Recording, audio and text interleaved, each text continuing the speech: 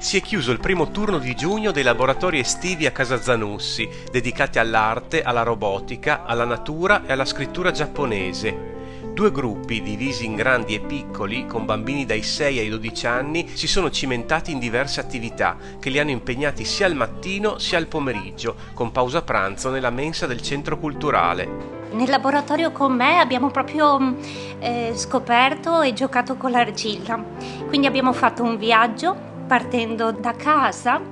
Abbiamo costruito dei fari con delle piccole luci che potessero illuminare il nostro viaggio. Poi siamo partiti e hanno costruito delle navi di vario tipo, insomma ne vedete qualcuna qui dietro per portarli in posti lontani e poi hanno immaginato un'isola, un'isola che potesse rappresentare uno spazio di avventura e di scoperta.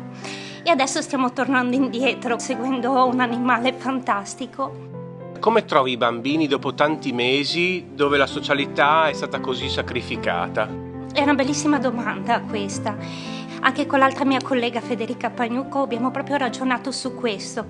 Quindi eh, come poter dare ai bambini uno spazio di uscita, come poter uscire. Per questo, per questo gruppo abbiamo scelto proprio l'avventura come tema e il viaggio.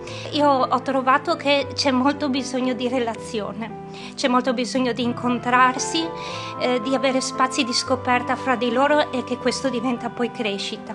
C'è bisogno di eh, tornare a giocare all'aperto, eh, di immaginare le cose che si vedono attorno a noi e farle diventare differenti narrazioni.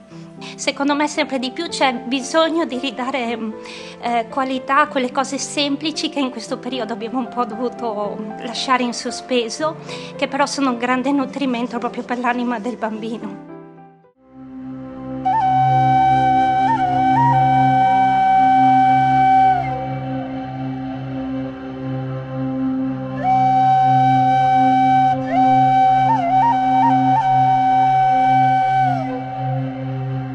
Questo laboratorio abbiamo approcciato la calligrafia shodo e il, la tecnica del suminagashi.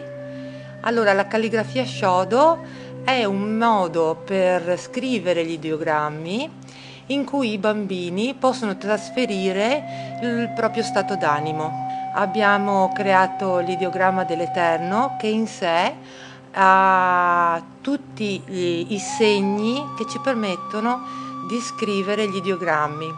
Nel Suminagashi, che è l'arte degli inchiostri fluttuanti, abbiamo creato delle tavole, dei segnalibri dove vengono impresse anche qui lo stato d'animo di chi lo fa, di chi lo esegue e poi reinterpretate le varie forme, le varie ombre che l'inchiostro trasferisce nel foglio.